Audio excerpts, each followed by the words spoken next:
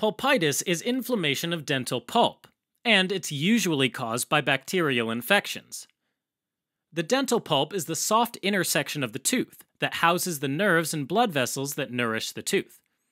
If the pulp gets inflamed, these nerves get activated really intensively.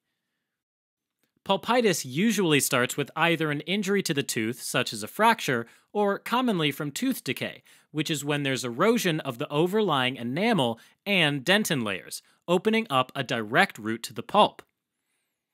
Bacteria can then access the dental pulp and generate an infection. The most common bacteria include the mutans group Streptococci, such as Streptococcus mutans and Streptococcus sobrinus. The bacterial infection typically leads to an inflammatory response from the immune system. The inflammation causes tissue swelling, but because the dental pulp is encased in a tough layer of dentin, there's very little room for tissue to expand. That means that the tissues get squeezed and there's a lot of pressure on the nerves.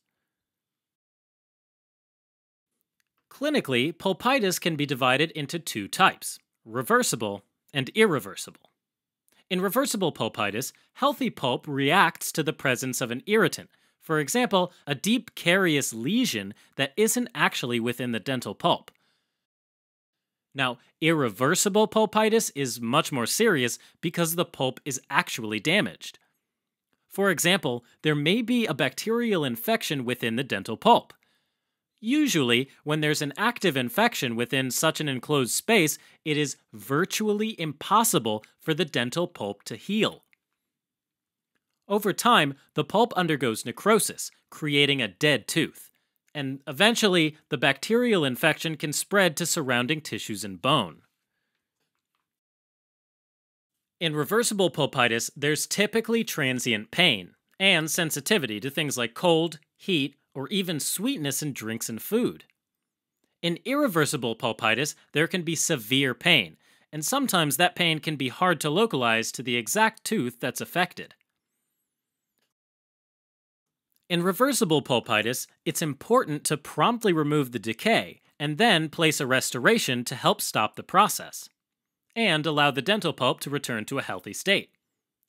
It's also important to seal the restored tooth so that it doesn't get reinfected. In irreversible pulpitis, there are two main approaches for treatment. First, there's endodontic treatment, which involves removing the diseased pulp and filling it up with a filler material like a special cement.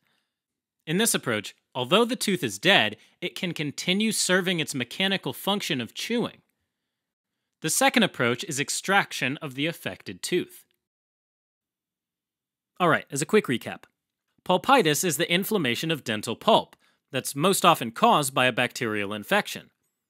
Reversible pulpitis is easily cured, whereas irreversible pulpitis leads to a dead tooth, which can be kept in place to help with mechanical chewing, or it can be extracted completely.